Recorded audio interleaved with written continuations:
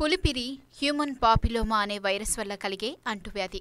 పులిపిరికాయలు చూసేందుకు చర్మపు రంగులో కానీ గోధుమ రంగులో కానీ బొడపల మాదిరిగా కానీ గరుగ్గా కనిపిస్తాయి.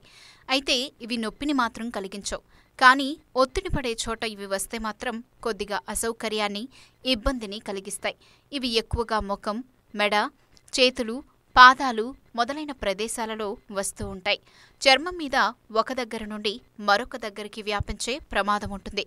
అలాగే తువ్వాళ్ళు మొదలైన గృహోపకరణాల ద్వారా రతి ద్వారా ఒకరి నుండి మరొకరికి వ్యాపించే అవకాశం ఉంది. కొన్ని పులిపిరికాయలు కొంతకాలం తర్వాత రాలిపోవచ్చు మళ్ళీ వస్తాయి. అయితే ఈ క్రమంలోనే పులిపిరులను తగ్గించుకోవాలంటే అందుకు మనకు అందుబాటులో ఉన్న కొన్ని చిట్కాల గురించి ఇప్పుడు తెలుసుకుందాం. వెల్లుల్లి రెబ్బలను పులిపిరులపైన రుద్దాలి.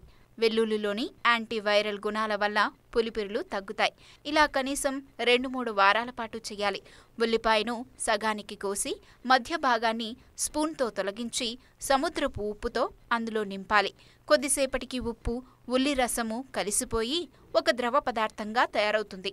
దానిని నిల్వ చేసుకొని ముప్పై రోజుల పాటు పులిపిరులపైన రాస్తూ ఉంటే ఫలితం ఉంటుంది.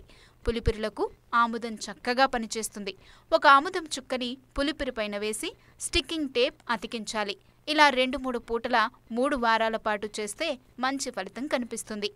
ఉత్తరేణి మొక్క ఆకులను కాల్చగా వచ్చిన బూడిదను తులసి ఆకులతో గాని మనిశీల అనే ఆయుర్వేద ఖనిజ పదార్థంతో కానీ కలిపి నూరి ఆవనూనె చేర్చి పులిపిరులపైన రాయాలి. తరచూ రాస్తూ ఉంటే పులిపిరులు తగ్గుతాయి. కొత్త సున్నాన్ని పులిపిరులపైన రాస్తే రాలిపోతాయి.